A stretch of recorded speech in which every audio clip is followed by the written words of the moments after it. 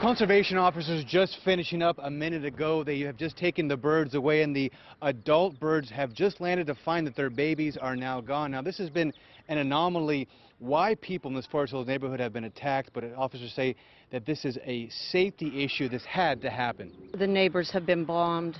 I was obviously hit. Um, we, we can't come out of our house.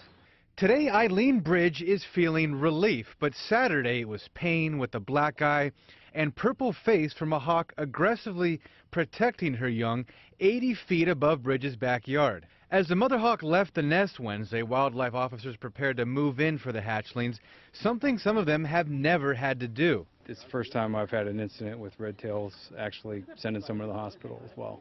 Now, as the hawk swirled overhead, it's unclear why she's been so aggressive, although it could be tied to recent tree trimming in Forest Hills here on Fillmore Road. Whatever the reason, Jeffrey Finch, a principal in Allison Park and also a falconer, prepared to climb eight stories high. As he got closer, he retrieved the basket, and as he reached the nest, it was a fascinating and natural reaction from the two hatchlings. Up on their feet, wings spread to protect their domain. Finch grabbed them by the feet one by one, dropping them back down safely to waiting officers who took them away. They looked very healthy. They're fairly far along in their development. Uh, they'll be taken to a, um, a person who will finish rearing them and then release them back into the wild. After Finch removed the nest from the tree, the mother returned to discover what had happened. But officers stressed that neighbors are now safe to come outside once again.